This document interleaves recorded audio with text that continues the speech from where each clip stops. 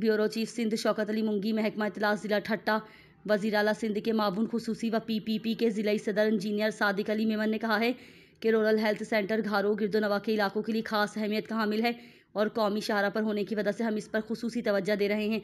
अस्पताल को अपग्रेड करने और ट्रामा सेंटर के क्याम के लिए कोशिशें कर रहे हैं। इस सिलसिले में हम बहुत जल्द पीपल्स पार्टी के चेयरमैन बिलावल भुट्टो जरदारी और वज़ीर अला सिंध सैयद मुराद अली शाह से मुलाकात करके मसाइल से आगाह करेंगे। इन ख्याल का इजहार उन्होंने रूरल हेल्थ सेंटर घारों के दौरा के मौके पर गुफ्तु करते हुए किया। इस मौके पर पीपल्स पार्टी के ज़िले जनरल सेक्रेटरी इम्तियाज़ अहमद कुरेशी, सबक तहसील नाजिम अब्दुल गनी भुग्यार, रीजनल मैनेजर मर्फ आदम मलिक, मुमताज़ चंद और दीगर भी मौजूद थे।